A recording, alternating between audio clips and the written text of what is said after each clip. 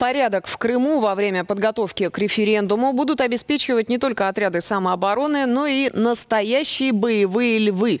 60 диких кошек обитают неподалеку от Севастополя в сафари-парке «Тайган». Его руководитель уже заверил, если понадобится, животные будут защищать полуостров наравне с людьми. О боевых львах в репортаже нашего бесстрашного корреспондента Регины Ореховой.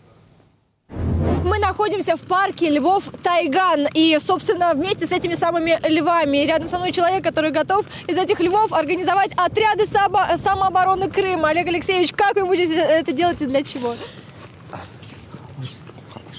В каждой шутке есть доля шутки, есть доля правды. Правда в том, что 16 марта крымчане сделают свой выбор на референдуме. И правда в том, что у нас есть план «Б». У нас есть боевые львы, у нас есть БРДМы. И мы будем отстаивать выбор крымчан всеми доступными нам средствами и силами. Вот расскажите, кто рядом с нами сейчас в какой боевой пятерке будет это чудо?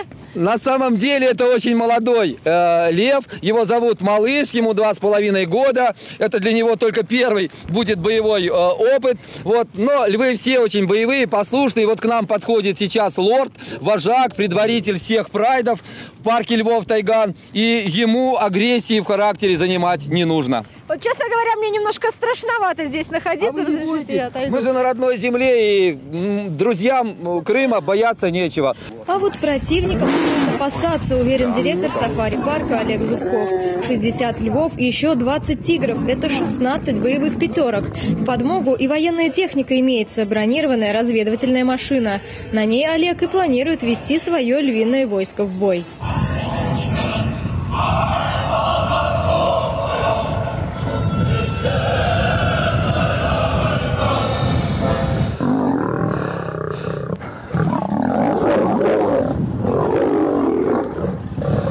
Такие острые клыки и зубы у наших львов.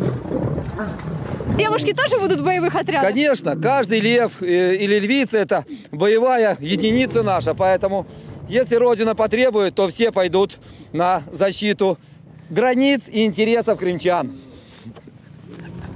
А зубы у нас большие, вон какие, вон какие зубы, вот какие зубы. Они достаточно агрессивные, это видно, они вовсе не ручные и находятся в прекрасной боевой форме.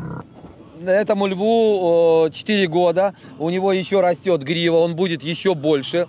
Вот, с ним считаются все львы сегодня. У него есть свой гарем самок. Вот, сегодня, поскольку они вышли на такие тренировки, то идет борьба за, э, за самок, за территорию. Кто подтверждает, кто будет э, главным э, в этом сезоне 2014 года. Конечно, на верную смерть своих подопечных Олег Зубков не пошлет. Но припугнуть парней с Майдана в масках избитыми львиные отряды способны вполне. Те львы очень послушные у нас, как вы заметили. Если будет команда выйти за пределы парка и пополнить ряды самообороны, то мы это обязательно сделаем.